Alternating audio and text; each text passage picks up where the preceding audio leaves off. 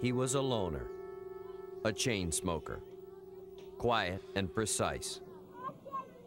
He came from Saskatchewan, where he had served time for burglary and for assaulting two women and a child.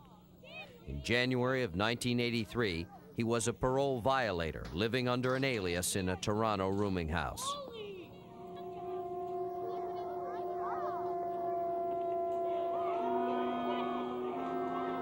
His real name was Dennis Melvyn Howe. Those turkeys.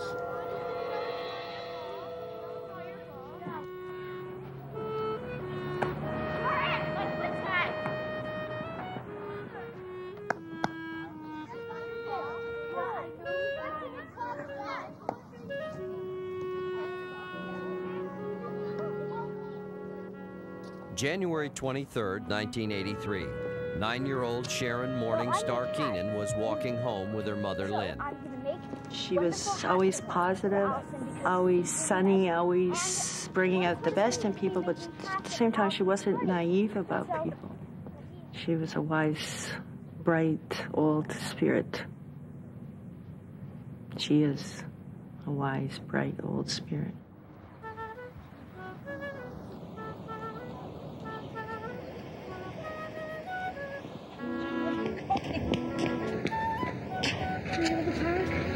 All right, but you'll be home before dark, okay? That's just about an hour. Okay. Okay, bye.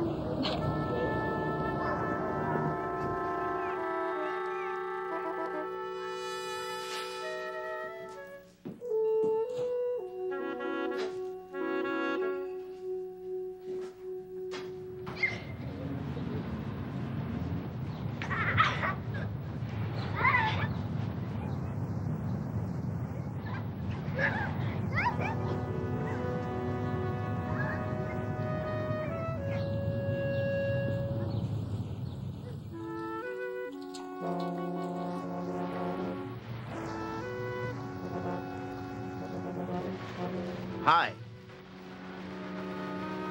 Hi. I was wondering if you could help me.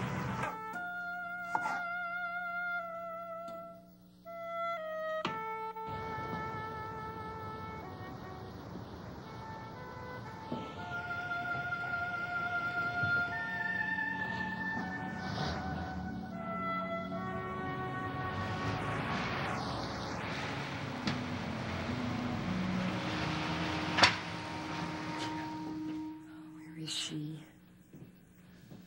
I told her to be back before dark. This isn't like her, Brendan. Okay, I'm out the door. She probably just lost track of the time.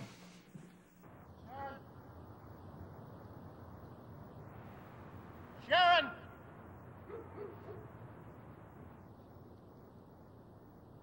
Sharon!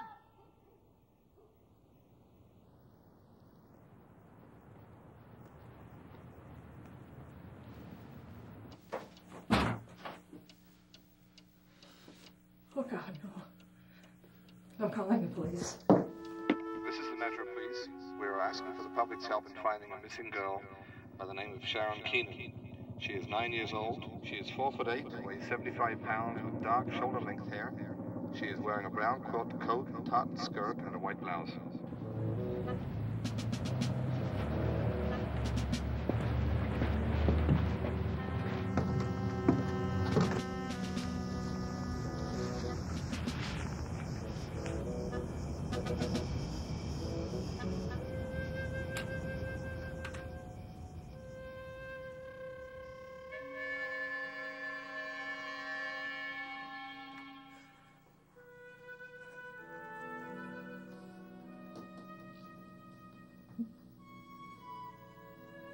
The light will see her through this.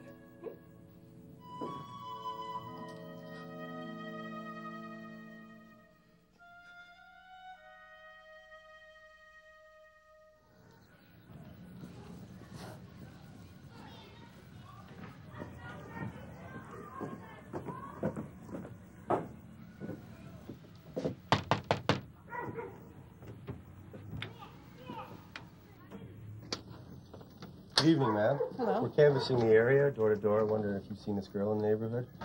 No, I'm sorry. Can't say I have. If you get any information, would you like to give us a call? and let us know? I feel this was perhaps the biggest hunt for an individual in this city and this country involving literally thousands of citizens and hundreds of police officers.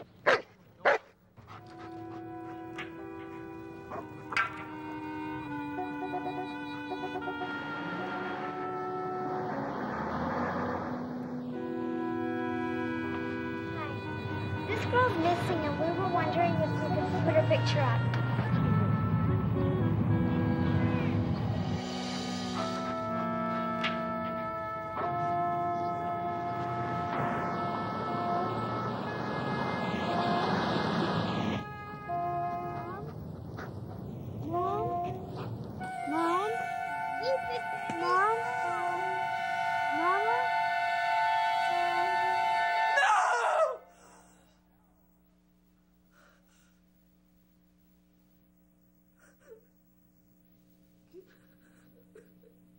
Well, I uh, I recognized her picture from the paper, and uh, she was talking, definitely talking with this older guy, uh, and he was smoking, smoking a cigarette. I, I thought I thought it looked kind of strange.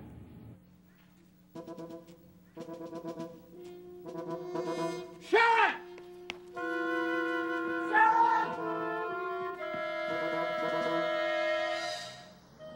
He had yellow teeth and wrinkly skin. Yeah, yeah, and he had really hairy arms and this deep ho ho ho laugh.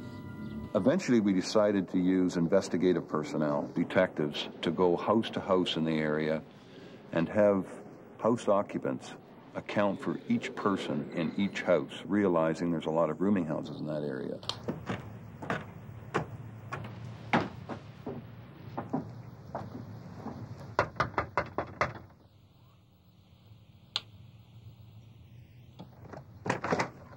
Hello.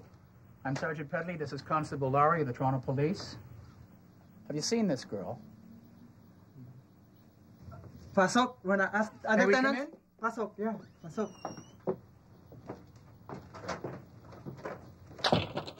Well, have you seen anything unusual?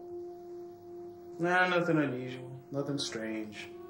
Except, uh, guy downstairs. I haven't, haven't seen him in over a week.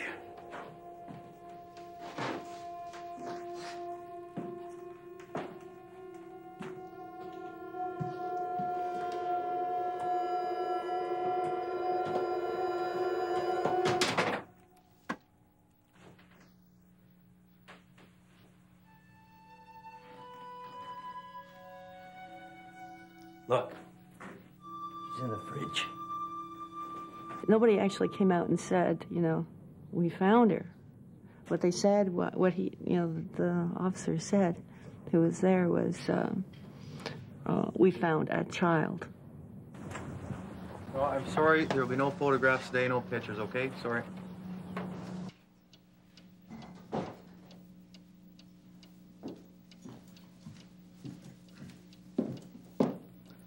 It's best if we go out the back door, then we can avoid the reporters at the front, okay?